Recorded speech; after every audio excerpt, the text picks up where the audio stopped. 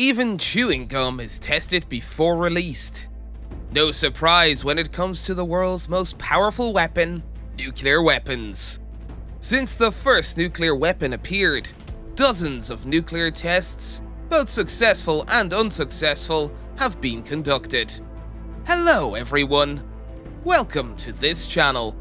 In this video, we will cover some of the most interesting and spectacular nuclear tests. After a tour of the mushroom cloud, we'll visit SpongeBob, and you'll see how the revealing women's bathing suits that made people roll their eyes came to be. Is this intriguing enough for you? Then let's get started.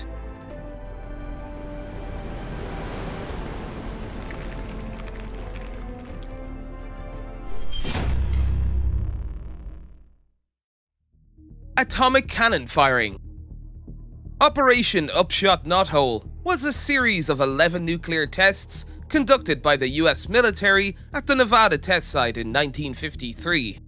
Over 21,000 soldiers participated in the entire exercise, training in coordinated actions in the conduct of missions under nuclear warfare and learning about the possible use of nuclear weapons. As part of this military exercise, the first and last nuclear artillery shell was fired from the M65 Atomic Annie, a giant heavy artillery gun. A nuclear warhead with a power of 15 kilotons was successfully sent out 11 kilometers from the launch point. Following the success of the test, the US built more than 20 atomic cannons and sent them to Korea, Japan, and Europe. Several of these atomic cannons are still on display in museums today, including the first Atomic Annie. Orange Herald Nuclear Test In 1957, the United Kingdom conducted a nuclear bomb test using a deuterium tritium nuclear reaction as a booster. The Orange Herald Small, with a power of 720 kilotons, was detonated on Malden Island. It became the most powerful single artillery shell in human history. The Orange Herald Large, a megaton class shell, remained in England as a backup. It was not suitable for the content of a ballistic missile due to its size, if anything, it was built just in case.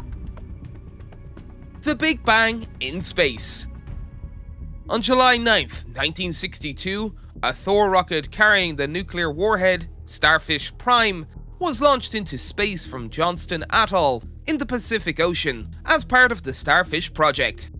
At an altitude of 400 meters above the ground, it detonated the most powerful in-space explosion in the world, with a power output of 1.4 megatons.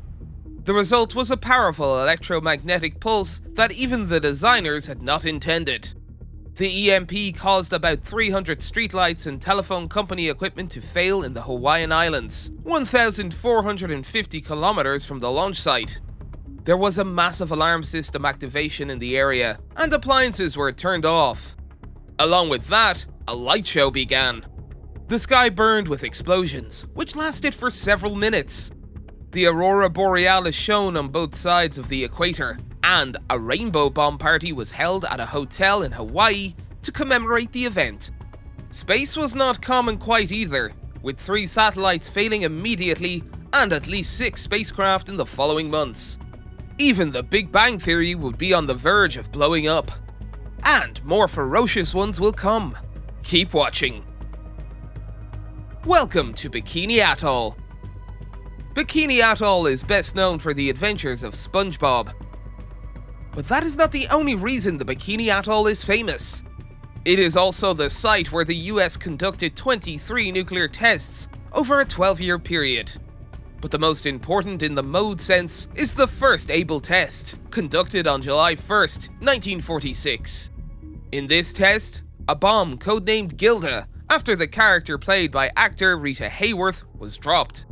There was another explosive effect of this experiment besides the direct one. Immediately four days later, in Paris, fashion designer Louis Reard surprised the world by presenting a swimsuit called Bikini. The two halves of the swimsuit symbolized the fissioned atom. Today, the manufacture and sale of bikinis is a multi-billion dollar business. This is the mark that the Able test left on the fashion world. Bombs like factories. It's time to move on to the really powerful nuclear tests. These two have been caught on camera.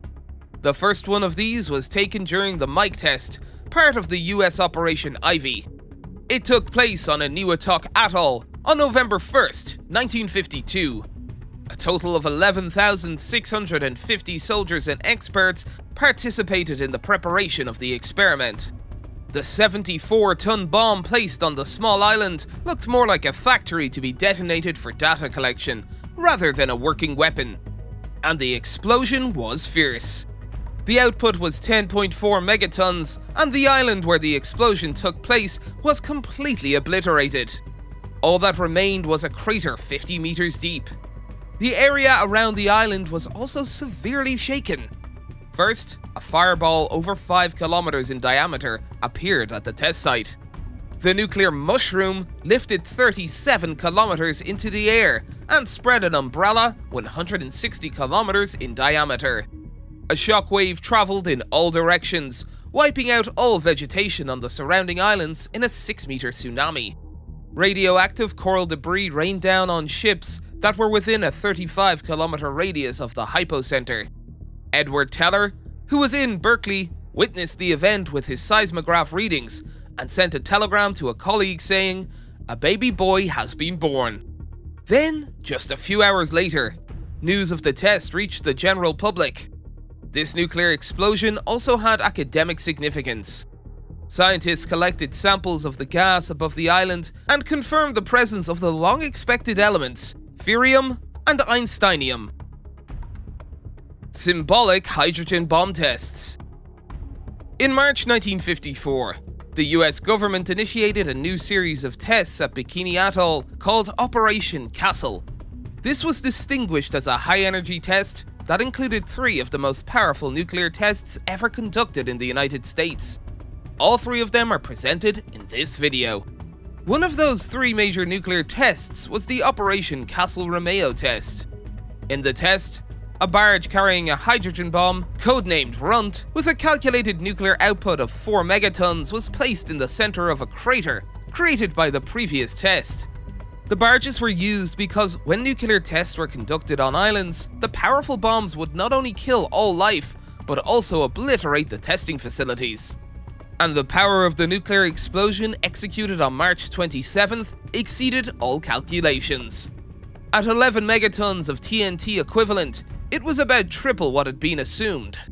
This has become the object of cult-like adoration in the pop culture world. One photograph of the test was used repeatedly as an image of nuclear testing. It was a symbol of the nuclear age. If you know this photo, please mention it in the comment section. If you have never seen it, please comment. We are waiting to hear from you. The fleeting cloud castle of the Operation Castle Yankee test. Only a month and a half after the Operation Castle Romeo test, Bikini Atoll became a test site again. For the Operation Castle Yankee test, a bomb, codenamed Jughead, was built, but the name was eventually changed to Runt, the same as for the Romeo test. And the new Runt 2 was twice as powerful as the first one, with a calculated power of 8 megatons. And in the previous case, the nuclear output exceeded the estimated value, reaching 13.5 megatons. 10 minutes after the explosion, a cloud of radioactive material rose to a height of 40 kilometers. At the time of the test, weather conditions were extremely windy. The wind speed at 12 kilometers above the ground was 120 kilometers per hour. This accelerated the rate of dispersion of the fallout, and after four days, it reached Mexico City, over a distance of 7,000 kilometers. America's most powerful nuclear explosion. Two months before the 8-1 Yankee test, the most powerful nuclear test yet conducted by the United States was held at the same Bikini Atoll. The energy output of Castle Bravo was 15 megatons, more than two and a half times the power expected from the hydrogen bomb that was ludicrously named Shrimp.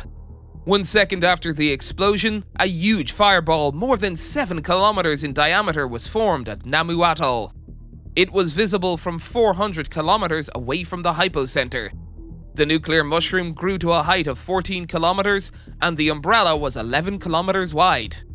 A crater 2 kilometers in diameter and 76 meters deep was left behind on Namu Atoll. Radioactive material fell on nearby inhabited islands and on ships.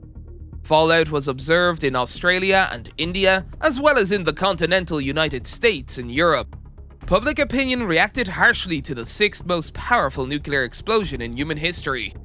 People began to open up about the dangers of nuclear testing.